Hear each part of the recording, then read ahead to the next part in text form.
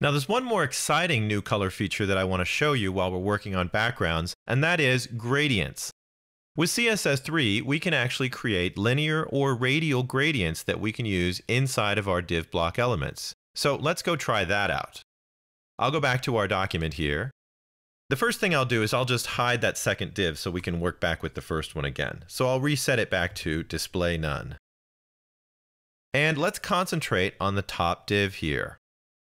I'll leave the background color as it is, and that's actually a good idea to use as a fallback where browsers can't show the gradients that we're about to try.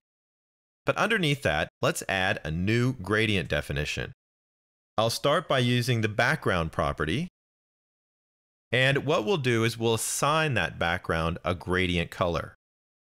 Currently, every single browser needs a prefix for this, and since I'm working with the Firefox browser, I'm going to use the prefix for Firefox to make sure it works here. And that is dash MOZ. That's short for Mozilla, and that's the name of the group that heads up the Firefox committee. Now after the prefix, I'll have another dash, and then I'm going to set up the name of the gradient property. In this case, we're going to do a linear gradient. So I add those two words also separated by dashes. Now we can specify the gradient, and we do so inside of a set of parentheses. So I'll add the beginning, and I'll go ahead and add the end, and then I'll just move my cursor inside so we can type the rest. Now basically, we need to provide it with a direction, and then the color stops that we want to have our gradient run through. Now let's try this out on a real easy left to right gradient. I'll start off by setting the direction. I'm going to start towards the left, so I'll add in left and a comma, and then I'd specify the color that we want to use on the left. I'll just use the color we're using for the background, which is this green we set up before. Remember, now in CSS3, I can use any color definition I want. So I could use a hex value here or a simple color name, but I'll just paste in that green color that we did before. That's going to be the starting color for my gradient. I'll add another comma, and then I'll add the ending color. And what I'll do is I'll use the RGBA color that we specified for our other div here before. Now I've specified a direction and a starting and ending color. Let me finish off my style and let's go see what it looks like in the Firefox browser. I'll save my changes, go back and refresh the browser, and now you can see that my div is now filled with a gradient that runs from left on the green and goes over to the blue color on the right mixing the colors in between in a nice gradient ramp. This property, like the last one, has some additional values that we can add to it to control the gradient a little bit more. So let's go back to our document, let's see what we can do. One of the things we can do is we can have as many gradient stops for colors as we'd like. Just simply add them on to the end. So here's what I'm going to do. I'm going to copy the first color, that's the green that we used before, and what I'll do is go down to the end of our statement. I'm inside of the last parentheses, and I'll just add a comma, and that indicates that we're going to have another color.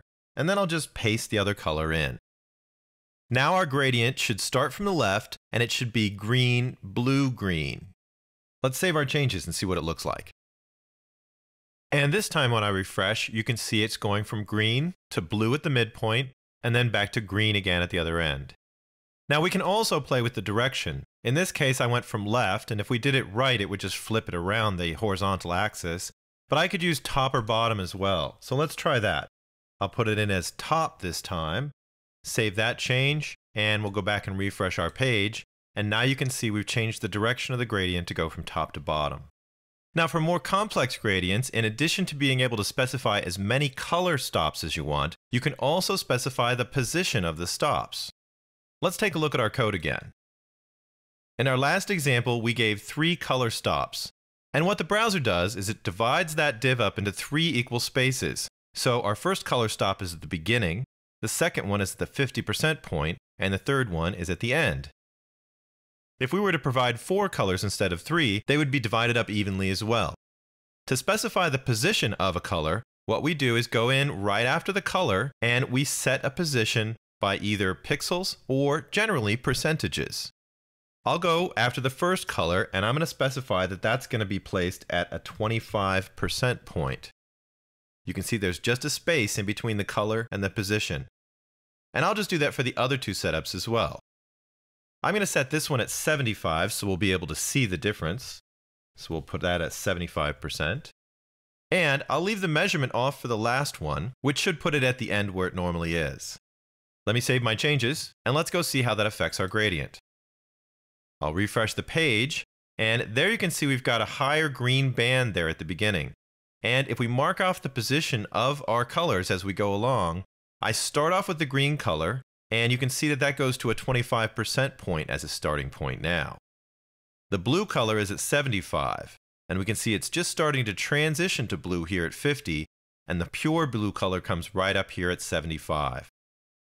The last green color, since we didn't specify a position, gets dropped at the end like it normally would. So we can really use this property to make very complex gradient backgrounds and not have to supply an image each time. Now there is one more thing that we can do with this, and that is in addition to linear gradients, we can do radial gradients. Those are gradients that start at the center and move outwards. So all I need to do for that is change the word linear to radial. And then we want to change the direction because top and left and right don't make sense for a radial gradient. Here I'll just use the word circle to describe how I want the gradient to radiate out from the center. And we'll leave all of our colors and the stops for the colors the same. Let's save our changes, and let's go see what our gradient looks like now. Now you can see our gradient still starts at green, and the 25% line is now from the center out to the edge.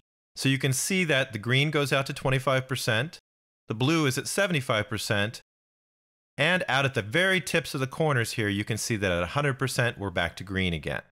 Now in the last section we talked about the prefixes, and if I was designing this one gradient for all the rest of the browsers, I would simply do it by copying this line where we define our gradient,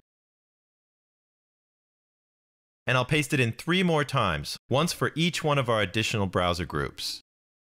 Now our first one is set to Mozilla, and that'll handle Firefox. So for the second one, Let's set that up for our most common next browser, which is going to be the Chrome and Safari browsers, and those are our WebKit browsers.